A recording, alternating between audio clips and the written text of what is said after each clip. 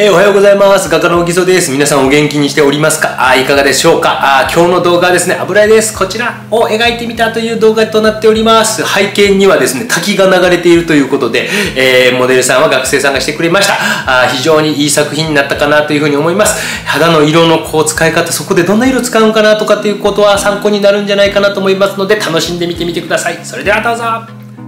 それでは解説をしていきたいと思います。まず、墨入れですね。墨入れの段階が面白いという人もいますので、ちょっとだけ短めに載せておこうと思います。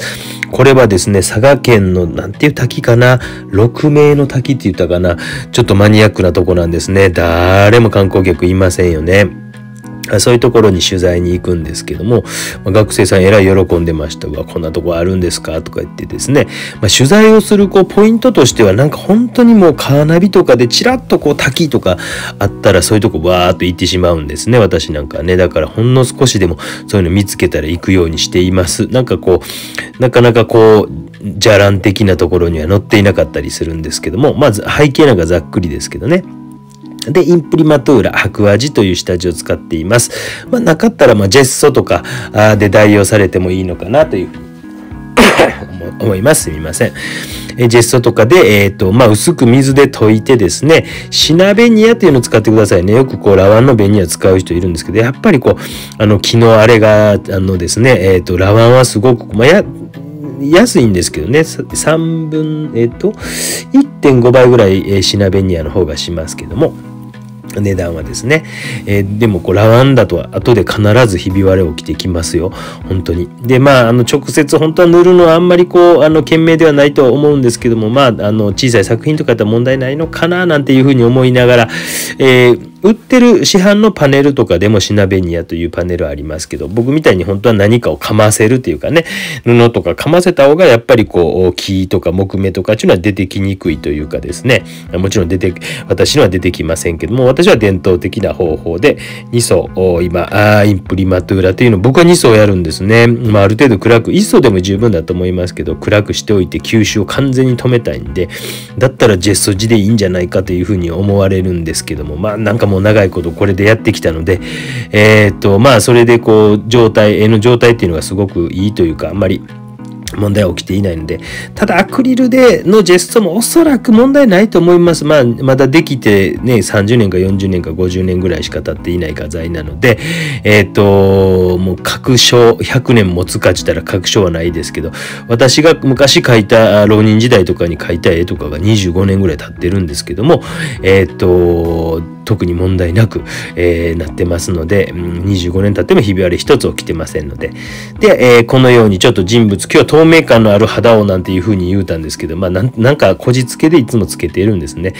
で、まああのすみません。そんな解説はあんまりしないかもしれませんけども、そういうところにちょっと注目して、この絵に関してはそういうところがうまくいったよという感じがしますので、すごく色白のモデルさんですね。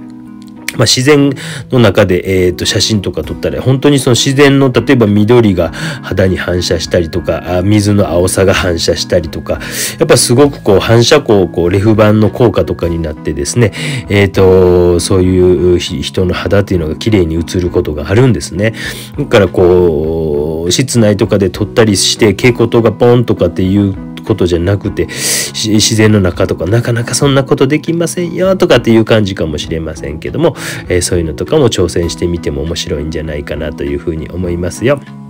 まあ、かなり光が少ないんでシャッタースピード遅くしたりとかですね、えー、そういう風にせんといかんかったりしますけど。でまあ今グリザ油で描いてますね。ちょっと茶色は入ってますけど今回はかなりグリザ油白黒に近い状態で描いていっていることがわかるかなというふうに思います、まあ、グリザ油とか細かいことをちょっと難しいという人はあの私の本当にこう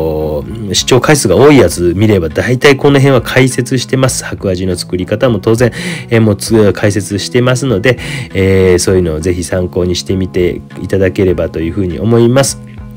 あの全部見せてますのでほぼほぼ見せてます、まあ、だからなんかあこういう作品今作ってはるんやなっていうののあこういうのは紹介にもなるのかなという。で目とかこういうとこは慎重に描いていってますね、えー、という感じで描いていきながら白黒細い面素筆とか使いながらどんな筆使ってるんですかとかも多分どこかで説明しているんですね。すみませんね。おじさんめんどくさがりなんでこういうのを丁寧にやればねもっともっとこうね、えー、登録者も増えるのかもしれませんがなかなかこうねそこまでの労力もないのでで僕はこう私のやり方ですけども唇とかちょっと血色の強いところっていうのは初めのうちに赤をとか塗っておきます。やっぱ白黒で塗るっていうことはなんとなくこう薄く青さが透けてきてほしいとことかですねえっ、ー、とまあ紅はちょっとこうまあなんていうかそんな青さみたいなのは必要あんまないからっていうので、えー、赤みが強いところっていうのは初めからこのように書いていってます。で、叩き筆で叩いて、ある程度こう平滑にして、プラスこうグラデーションですね。グラデーションというのをつけておきます。やっぱ油絵の具というのはですね、グラデーションがほんとつけやすい画材なんで、よくこう、あのそれまでっていうのはテンペラ画あそれまた前はフレスコ画なんていう技法がありましたけどもやっぱ油絵の具っていうのが主流になっていったっていうのはそういうところですね。グラデーションというのがつけやすかったり重層構造構造を作るのが。あやっぱ昔っていうのは時間の流れもゆったりしてたんでしょうね。今みたいにせかせかしてないというか、まあ、やっぱり一枚の絵にかける時間っていうのはすごい時間かける絵描きさんもいたり。逆にすんごい膨大に描いた人もねルーベンスなんていう人なんかめちゃくちゃ膨大に書いてたりするんですけども、えー、いたりとかですね、えっ、ー、と、まあ、ゴッホなんて亡くなる前はもうほんと1日1枚ペースで書いていったとかね、まあ、それぞれなんですね。そういうのがこう美術の面白いとこやと思うんですよね。ダ・ヴィンチなんてあんまりこう完成作品残していないのに、なんかこう評価的に世の中の評価的にはミケランジェロよりも上のような評価のされ方しますけども、まあ、ミケランジェロなんかも膨大に作品作ってますよね。システィーナ礼拝堂から彫刻。私なんかどっちかというとミケランジェロ自分で言うなよって感じかもしれませんけどミケランジェロ型かもしれませんよね。膨大に仕事して、えー、ね、えー、いろんなことをやっていってしまうという、本当彫刻も、もちろん彫刻家で、えミケランジェロありますからね。っていう感じで、えー、だいぶね、えーと、明るめに描いていってます。本当にこう、なかなかうまいこといったんちゃうかなという感じで、えー、下地のこの段階も本当にこう、長いことやっぱり仕事してきたから、あの、ある程度こう描けるようになってきたかなっていう。で、髪の毛も大雑把にですけど、僕は描いておきます。私の描き方ですですけどもあの細かい一本一本もこの辺段階から書くという人もおられると思うんですけどもそれはもう皆さんそれぞれだと思いますちょっと周りの部分っていうのはちょっとラフに書いておきますね顔の部分だけこうやって塗ってその後こう書くところだけ今濡らして、えー、わーっとねザザザザ、アラプリマとも言いますね。あら、あの、荒垣というか、荒垣結衣さん、あ、関係ないわ。えー、ね。えーと、ざくっとこう書いておくという感じですけどもね。あんまりこう背景の方に、えー、力を置く重きを置くわけじゃなくて人物の方に重きを置こうかなと。なんか突然このモデルさんそこらにあった多分野一号かなんかやと思う。ふわっと拾ってあそれ持ってんの？面白いからそれ、えー、あれしてって言ってですね。なかなかまあなんかこう学生さんの中にはこういうとこ連れていくとわあ虫だキャキャキャとか言う人いるんですけどあんまりそういうの奥しないタイプややったからあすごい助かるなっていう感じがしましたね。わわわわ言われるとね虫ぐらいおるわって思うんですけどもね。で洋服とかもこう基本的にはなんかこんこんなどんな服がいいですかねっていうのを事前になんか LINE とかであじゃあこれとこれにしと持ってきてとかっていうふうに言いますけどね。で、こういうふうに書いていってます。こういう、このいちご的なのが あって、秋口でしたけどね、えー、こういうのか、真剣な目してますね。真剣な目で書いています。おじさん頑張って書いてますけども、えー、そしてあ、顔の部分っていうのは多分、これは別日に書いてたのかなこれ完全に乾いてからかなあ乾いてからですね今ちょっとインターバルがなかったんで突然なんか乾かないうちにやってるように見えましたけど1週間ぐらい多分間空けてますすみません。背景とかのいちごとかあの辺書いたあと1週間ぐらい空けてからえー、っと今また完成油で全面画面を濡らしていってます。ちょっと絵の具色をつけたりするんです。それもまあまちまちですけどね。ちょっと白っぽいの入れたりすることもあれば。そしてこれこれなんか分かります？背景カラーをねちょっと小さくて分かりにくいかもしれませんけど光を中まで入れていっている。で後ろには滝があるんですけどもね。まあ、滝が主役というよりは人が主役なので、まあ、滝なんかラフに描いていってます、えー、光を中の方に入れていってという感じでですね、えー、描いていってますね。でちょっとこうグリザイ油があと全面がちょっと濡れた状態になってから少しこうグレーズとかちょっともうスカンブルというか白っぽいのも入りながら入れながら2層目で少しこうそのものの色に近い状態にそして透明感のある肌ということ全然そんな話せえへんやんけって誰か突っ込んではるでしょねあの適当にタイトルとかつけてるんでで、えっ、ー、と、やっぱこの青さみたいなのをちょっと残しておこうかなとか、私なんかはこう、コバルトグリーンペールとかっていう色とか結構使うんですよ。人の肌にね。あのー、まあ、グリーングレーみたいな色かな。なんかすごい僕それ好きでもう昔からなんですけどやっぱそれをちょんとこうあのー、入れてあげたらなんか深みのあるこう肌の色になるんですね。なかなか難しい時代ですよね。肌の色っていうのも千差万別やから。ね。どんな肌の色やねん。で、まあ、日本人の一般的なそしてなんかマスク生活やからよりこうあのー、あれですよね。日焼けしてないような感じかもしれませんもんね。で、えっ、ー、と、奥の方とというのを形は書いてあるんですけど、ちょっとこう同化させながら書いていくというか、花なんかも絵の具を中にまで入れてあげるというか分かりますか？何言うてんねんって感じかもしれませんけども、えー、という感じで少しずつ色を着色していくような印象で少しずつですね、慎重になっていってますね。多少もちろんこう、あの、顔のこの辺はこうしてほしいとかっていう要望があって、案外こう要望僕言うてもらったから助かるんですよね。で、その要望言うてもらったら、あじゃあこんな感じかいね、みたいな感じで、えー、それに沿って頑張って変えたり多少することもありますけどね。で、えっと、いう洋服も同時に描いていきいきます。まあ、2層目ですけどもね。えっと、まあ、これ、あの、洋服の柄を描くのがすごい大変だったです。まあ、でもそれも、それはそれで楽しいです。いつか終わりが来ると思ってやってます。ね。終わらんかったらね、それはあれやけど。そして叩き筆で炊いて、あだからグリザイ油に近い釜油みたいな感じで今回は2層目をやっていったんですね。それによってやっぱ深みとかも出てきますし絵の具のマテリアルっていうのがちょっと複雑になるじゃないですか。一発で描いただけやったらば、ね、2層絵の具を塗ったりして少し絵肌をつけたりすると絵の具が複雑になるっていうことありますよね。で、細かいディティール描写も描いていってます。ね細かいことしてはるね。ちまちまちまちまやってはりますもんね。こうやって見るとですね。こういうところ少しずつアップとかもお見せしながらあ細かい描写とかもお見せしながらこれはね結構前に書いてた絵やな。えっ、ー、と1月ぐらいに書いてた。これ公開してんのが1月ぐらいから3月ぐらいまでかけて書いてたかなと思います。ちょこちょこ動画はこうやって撮り続けてはいたんですけどね。で、えっ、ー、とこの顎のラインが一番僕難しいと思っていて顎とか頬骨にかけてのラインとかねこの辺が僕一番実は人間を描く上において難しいんですね。でえっ、とこうまあ、目の白目って書くんですけど、ちょっとこう、はみ出してもいいぐらいの気持ちでやった方がいいと思います。ほんの少しぐらいはね、なんかこう、硬くなりすぎてしまうんで、やっぱり柔らかい、こう、書いてあげた方が女性は喜ぶんちゃうかなと思いますので、で髪の毛とかそして指でこうやってすり込んだりとかしながらまだあグリザイユという仕事をしていってます着色は多分このあで紅はもう一層こう塗っていって少し赤みが強くなってきたのがわかるんじゃないでしょうか。ね、紅が難しいね面白いですね。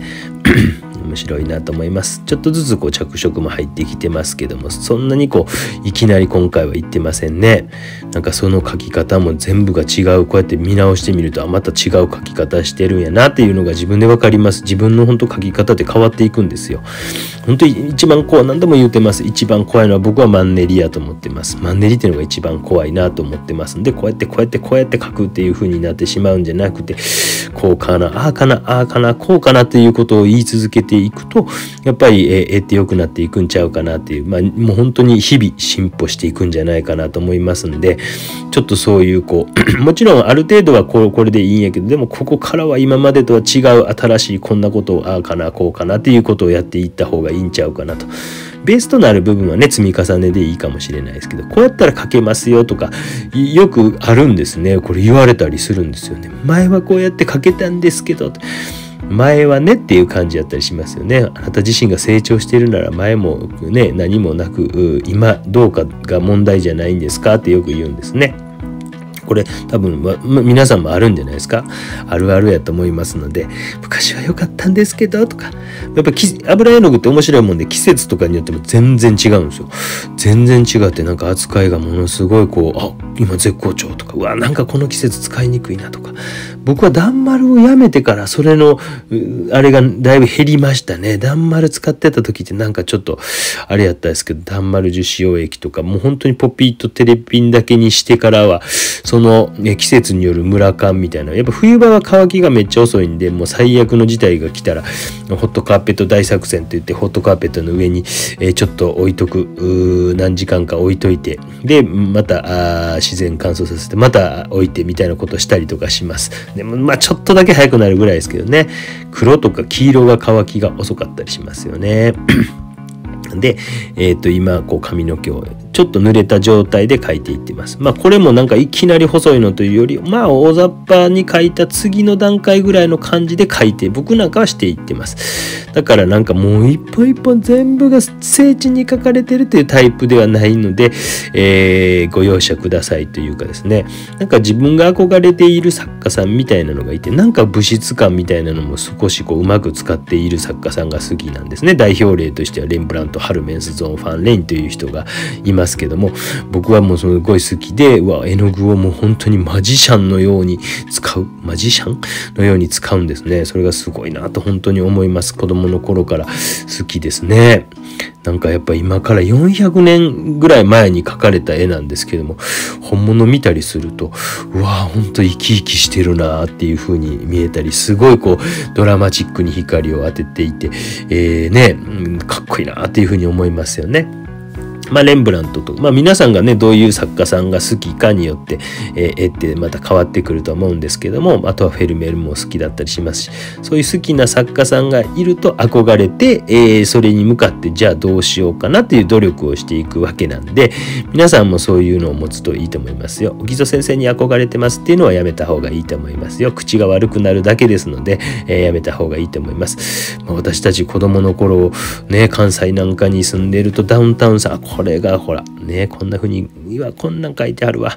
ダウンタウンさんが僕が小学校4年生か5年生ぐらいの時に4時ですよだっていうのが出てきてえー、ねこう関西ではもう大ブレイク大ブレイクしてもうみんなこう学校終わって走って帰るんですよそれ見るために。4時からやってるんでね夕方のね。でそれ見てもう口が悪なってったっていうね。もう本当に口は災いのもとですので皆さん気をつけましょうね。ダウンタウンさんのせいにするんじゃない。関西人っていうのは大体口が悪いというかね。まあそんな感じなんですけどあだいぶこう明るくなってきましたね、えー、だいぶこう明るくそしてそのやっぱりこう洋服に合わせてまあ個一個は僕はそんなに、えー、全く同じように書いてないです。ある程度こんな柄でこうなってこうなってっていうパターンをある程度頭に入れてから、ちまちまちまちまこうかなあかな。そして洋服のシワに寄り添うように寄り添うように書いていくというわけですね。えー、ということで今日もちょっとマイクなしで録音していますけども、えーと、そしてこうあここからは着色ですね。ここから肌着色していきますけどこれはコバルトグリーンみたいなの塗りましたね。紫が多かったんですけど最近はなんかコバルトグリーンっぽい青を塗ることも増えてきました。何でしょうかねこのまた変わりはったって感じで。それは自分の本当好きなものとか色とかを特に透明感あるっていうことなんでそのコバルトグリーンみたいなのがうまく人の肌で生きてくればいいなというふうに思ってます。ティッシュで拭き取ってます。完成油だけ、ポピオールだけですよ。まあ、なかなかこう、ゴシゴシすり込んでます。やっぱ弾くんですね。だから弾いてないかなっていうのを確認しながら、よくこうね、顔が近くなってますけども、そして今これちょっとスカンブル的に一回薄く白く塗りました。思い切ったことしましたね、今ね。何今何したの？もう一回ね巻き戻ってみてもいいですよ。ねちょっと薄っぽい白っぽいのをやりました。ごめんなさい見えないですね頭でね。でやっぱこう画面近くに寄ってみないとこう弾いてるか否かって見えないんですよね。からこうティッシュでこすり込んでまた絵の具塗ってそして思い切ってグレーズに近いようなちょっと白も入ってるかもしれませんけど赤とか茶色とかを混ぜて、えー、グレーズ的なことをしましたでここなんかで、えー、やっぱバランスよくこう下の絵の具の透けて青っぽい感じを透けさせながらさあどないしようかなっていう感じで、えー、やっていくわけですね。でこうもう少しこうね赤みがかった色を塗っていってきながらあ黄色みがかっているところは黄色みがからせて人の肌あこうやって見ると分かりやすいですね。ねえ急に血色が良くなりましたよかったですね。血色が良くなりました。ゴシゴシゴシゴシ。と指ですり込んでみてさあどうかなさあどうかな。指ですり込むとその、えー、マチエルというののへっこんでるところに絵の具が入っていきます。ちょっと多すぎたなと思ったら今拭き取りました。そしたら下のあ緑っぽいあの感じがちょっと見えてきたの分かりませんか？で全面一応グレーズ的な感じでしたらちょっと白を入れながらこう白真っ白じゃないんですね。で今のなんかもちょっとだけ青入ってたりするんですよね。だから赤で塗ってる色に、えー、また寒色系の青っぽいので薄くこうそうすると透明感のあるちょっと肌のこれなんかそうなんですよね。ちょっとパレットまで見せれたら一番理想なんですけどそこまでの動画テクニックはありません。おじさん一人で編集等までやっておりますのでお許しいただければと思います。ねこう薄く青っぽいの。で僕なんかこう意外とこうベタっと塗るよりこうチョンチョンチョンチョンって塗ってるの分かります？チョンチョンチョンチョンチョンチョンチョンチョンベタっと塗るよりでそれは何でかっていうとちょっとでも赤いのを少し残しつつでもこうえー、っていうことでそれによってこう透けた感じっていうのが表現できていくんじゃないかなというふうに思うんですよ。何言うとんねんこのおじさん何言うとんねんって感じかもしれませんけどねちょっとこう寒色系の青っぽいのちょんちょんちょんちょんそして暖色は少し塗り残ってみたいな感じですね。ね、だいぶこう血色が良くなってまいりましたね。で、この辺りっていうのはやっぱ全体のバランスを見ながらですね、画面全体も一応見ながらですね、で、人の腕の方も実は同時に描いていってます。この辺なんか分かりやすいですね。ちゃんちゃんちゃんちゃんってすることによって、で、下の赤も少し透けてるのが分かりますかね。えー、そういうのも透けさせながら描いていくということですね。ちゃんちゃんちゃんちゃんちゃんちゃんちゃん。ね、そうすると透明感のある。そして顎の下なんかも反射光によってちょっと明るく見せているというところもいいね、いい塩梅なんじゃないですか。いかがでしょうかね。ちゃんちゃんちゃんちゃんちゃんちゃんちゃんちゃんという感じで書いていってます。ね。だからベターっと塗ってないです。僕の場合はそうですよ。皆さんは皆さんのやり方でしてくださいね。そうするとこうグリザ油によって初め描かれた下地と赤っぽいこうグレーズによってそしてまたこの半透明ぐらいのこの色によって、まあ、3段階ぐらいの層ができてくるわけですね。グリザ油も2層やってるから4段階かもしれません。絵の具の層ができてきているわけですね。それによって複雑になってきて。で、プラスこの僕はコバルトグリーン的な色によって透明感みたいなものが出てきているんじゃないかなと思います。どうなんですか？皆様が評価していただいたらいいと思うんです。そしてこう、ここのライン難しいんですね。えー、あそこは難しい。そして背景の方も少しザザザザと書きながら、もうちょっと明るく、もうちょっと明るくという感じで明るくどんどんどんどんしていきながら、どうですか？皆さんこれぐらい書けそうですか？書けます書けます楽勝楽勝。ね、もう見てたら書けるような気分になってきませんか？うん、なってくると思います。ね、ちょっとそれでディティールなんかもこうお見せしてゆっくりお見せしますね。30分も超えたちょっと長い動画となってしまいまして申し訳ございません。でこういうところは本当に慎重にやっていってます。花なんかもこう慎重に描いていって慎重にどれくらいの暗さがいいかな。ここに黒とか置く人いるんですけどやっぱ黒を置いてしまうとねなんか穴に見えて鼻の穴が穴なんですけど黒いなんかもうもう穴みたいななんかなってしまいますのでちょっと黒という色は若干慎重にやった方がいいんちゃうかなというふうに思いますよ。でまつげとかもこう書いていきながらですね書いていきながらですねわかりますか？ちょまじまじまじまこういうとこ慎重に書いていってます。もうまあ、この辺でだいぶこう完成図が見えてきますよね。まあここから楽しい感じかもしれませんけどもグリザイユの僕2層目ぐらいも楽しいかなと思いますね。でそこから着色したすぐはちょっとなんか緊張感持って大丈夫かなっていう感じです。でもこのぐらいになってくるとあオッケーオッケーオッケーオッケーオッケーっていう感じです。ね、だからなんかこう、もう本当にこう、心なくこうね、淡々とやってるわけじゃなくて、やっぱりハラハラドキドキするわけですね。こういうハラハラドキドキを味わえるのが絵を描くという楽しみの一つなんじゃないでしょうか。皆様の頭の中のイメージというのが形になって具現化されていって、あ、思ってるような感じになってきたいや思ってるような感じになってないとかねそういうのを感じながら。でもある程度経験値を積んでくると今までこういう経験でできたぞということである程度のところまではあのいつもクオリティを保てるようになってくるんですね。そこから問題としてやってくるのはマンネリというやつですね。ルーチンですね。こうやってこうやってこうやって書けるからこうやって書いたら書けるからというふうに思ってしまう。でもそこですふと。ねあれ？でもなんかそこに私はドキドキ感がない感動がないみたいな自分自身にですねないみたいになってくるとこれは良くないわけですよ。そこのところでいやじゃあこうもっとこう今回の人の肌はこうしてやろうディティールはこうしてやろうとか背景はこうしてやろう。そういうことを繰り返していくことによって人間って成長するんちゃうかなっていうふうに思いますよね。偉そうなこと言いやがってこのおじさんみたいな感じですね。で背景もちょっと書いていきますけどザザザザザっとこの辺は軽めにお見せしていってます。ねえー、ザザザザザもう本当にこれラフに書いてます。こういうこうなんか緩急みたいなのもねあの本物見ていただいて、えー、こんなに緩急つけてるんやっていうのを見ていただければやっぱり全部こう写真を写しますみたいな後ろにも焦点当ててっていうよりは僕はなんか絵の具の物質感でザザザザと見せる部分とそうやない部分とみたいな緩急つけるのがすごい好きなんですね。それが絵の面白さやと思ってるのでこういうとこなんかラフにジュジュジュジュと描いていってそして、えー、手なんかもちょっと同じようにこう着色をしていて、えー、人の顔の方の肌の色とちょっと比較しながら見ていてくださいね。えー、どう、ね、どうですか？ここからね、手の隙間から見えてる光なんかが面白いぞとかね、自分でその面白いなと思うところ絶対忘れないようにしてくださいね。写真を使って描く人ってすごい増えていると思います。私もね、もちろんこれやった写真使いながら書いてますけども、大事なことはね、えー、じゃあそこで見た感動とかって何やったんかなとかっていうことを忘れてしまうと、ただ写真を写したっていうだけになってしまうかもしれませんので、その辺だけはすごい大事にしていってください。こういうとこ慎重にいってますね。ピッピ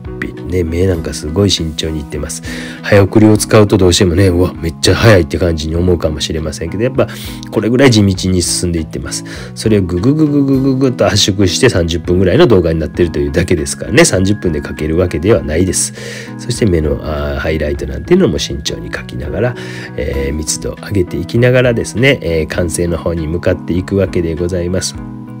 ちまちま。で髪の毛もねどれぐらいかな。この辺がね難しいんですよね。これはあの山切りカットにしている名村さんのお面ソ筆かなんかだと思います。こういうところはテレピンも使ってます。テレピンとポピオイル半々ぐらいかな。で希釈したもので、えー、髪の毛なんか僕は描きます、まあ、下の絵の具が濡れてたりするからこうスーッと滑るようにですね。えっ、ー、とスケートリンクの上を滑るかのごとくスーッと長い線とか細い線とかが引けたりします。ます。で唇なんかももう3層4層目ですね。ちまちまちまちまちまちまと書いていって密度を上げていくわけですね。この辺りもどれぐらいまああのグリザイユで残った色初めの白黒が残っているんですけどもまあどこまで、えー、その上から書いていこうかなっていうのはなんかこうキャッチボールしてくださいね。心の中でこうかなあかなどうかなあかなどう見えるかなこうかな。ちょっと難しかったら皆さんね鏡通して見られるといいですよ。鏡通してみたりスマートフォンなりなんなりで写真を撮ってえ画面全体を小さくしたりとか鏡通すと反対反転して見えるわけですよね。反転して見えても人の顔にちゃんと見えてるかなとかっていうのを要は客観的に見るってよく言うんですけどなかなか客観的に見るって難しいんですね自分が一生懸命愛情を込めて書いてたらいや私は絶対こんな風にはないとかでね鬼好評なんかしてたらああすごいこういや私はとかって怒られたりするんですけどやっぱこう客観観的に見るっていうことができるようになってくるとですね鏡通してみる分かりますかね？そしたら反転してそれでも人間の肌やったり顔やったりするわけじゃないですか。もちろんこう生体症になっているわけじゃないですよ。目とかね多少人間ってずれてたりするじゃないですか。僕もどっちの目かな左の目が小さかったりなんかするちょっとはするんですよね。でも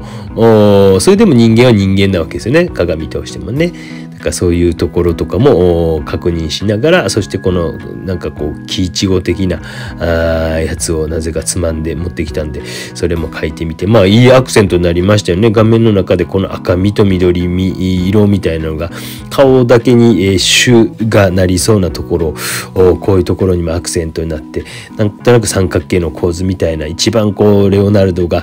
安定した構図として、えー、よく利用していった三角形の構図的な感じになってきたんちゃうかなというふうに思います。妙脈とかもちょっとね書きつつこの辺はもう書いてるか書いてないか分かんない程度かもしれませんけども妙脈とかも書きつつさ最後の完成にここからあ最後ディティールを書いて終わりにしたいと思います。またやってますね。同じことね。えー、なんちょっとこうデジャブみたいな感じですけどね。同じことするんですよ。それそれによってまた4層目か5層目かなんかのわからないですけどこうやって濡らしておいて濡らしておいて指ですり込んで乾いてるかな乾いてるかな。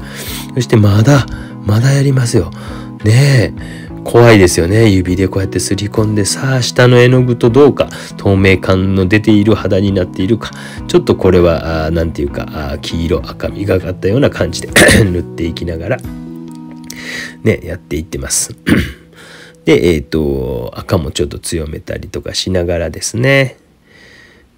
どのぐらいかなっていうね、本当にこう、絵との対話です。一番大事なのは絵との対話ですんで、絵との対話がまあ自分対絵なんですけども、そこに、えちょっと客観的な目みたいなのを持って人が見たらどう見えるかなっていうのも持てたらそれが理想的ですよね。なるべくこうその辺がこうどう見えるかなっていうのをちょっと心の中でキャッチボールしてくださいね。やっぱやっぱりこうどうしてもねあのまあもちろんこう自分のために書くんですけども人に何が伝わるかなっていうところは大事ですよね。かそこのところっていうのはやっぱこうなんか楽しく書いてるからいいんですっていう人ももちろんそれはそれでいいんですよもちろんそれはそれでいいんですけどちょっと上のレベルを目指したいなと思ったらあどう見えるのかな見られるのかなっていうことを意識するわけですねいくらファインアートって言って純粋美術っていうんですけどもファインアートと言ってもやっぱり見られてなんぼのわけでございますよね。だからそういうこともちょっと意識しながらあですね進めていかれたらいいなと思いますしそれを訓練づけていけばいいんじゃないかなというふうに思います。最後はこのようにちょっと細かい描写ディティールとかを書きつつ密度を上げつつ最後にネチネチネチネチやりながら、えー、完成へ向かっていったというわけでございます。今日もこれはスマートフォンはじめと頭のところだけは、えー、ZV-1 やったっけな？ZX1 やったかな？なんかソニーさんの そのカメラを買って撮ってみたんですけどもえっ、ー、とどうだったでしょうかまあなんとかスマホでまだちょっとやれるところはスマホでやったりとかしながらあ対応していきながら、えー、と動画編集とかもね覚えていきたいなと思いますまあネチネチやってはる本当に書いてるか書いてないかこの辺はなかなか動画では分かりにくいと思いますのでよかったら展覧会等に見に来ていただけたら嬉しいかなというふうに思いますよ。ねねちねちねちねち書いていって密度をちょんちょんちょんちょんちょんちょんと上げていってまあこういった感じで油絵の動画動画もどんどんどんどん上げていこうと思います。油絵描きたくなってきたんじゃないですか？皆さんねなかなかね、もう本当に人生150年時代に入りましたからね、いよいよね、えっ、ー、と、65歳、僕私も60とか65まであと15年とか18年とかなんですけどね、自分の親父が62歳で早く亡くなってるから、本当はね80いくつぐらいまで行きたかったでしょうけど20年ぐらいね遊びたかったんやと思うんですけど僕もねなんか本当に自分の好きなことを中心により中心に生きていけたらなというふうに思うんですね。どうしても仕事というと嫌なことをやらないかんのですよ。当たり前じゃないですかって言われるんですけどもね。なかなかこう時代はどんどん便利になっていくけど仕事は減らないという謎。この謎を誰か解いて解き明かしていただけないでしょうか。なんていうことを言いながらテーマを書いていきながら密度を上げながら最後完成へ向かっていきました。いやーいい作品が描けたなというふうに思います。本当モデルしてくれた、えー、ありがとう。M さんありがとうございます。すごく性格のいい子ですね。もう私がなんかねあの就職担当やったらすぐこういう子取りますけどね。気が利いて明るくて元気が良くて。ね体力あって頭良くて。ね何でしょうかね。本当にそういう子供を育てるにはどうしたらいいかあお父様お母様いつかお会いしたらお話を聞かせて一回僕会ったことあるんですねちらっとね。あれ1年生の時やったもんね確かね、えー、教えてください。教育について教えてください。ということで以上でございます。ご視聴ありがとうございます。よかったらいいねボタンとチャンネル登録よろしくお願いします。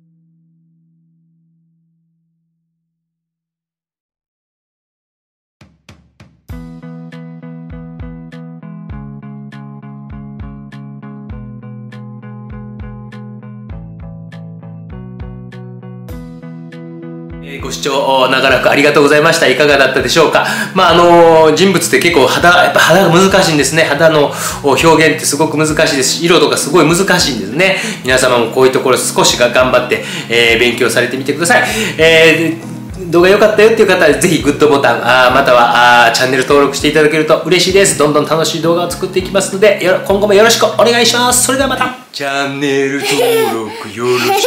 ね。SNS もやってます よろしく ではでは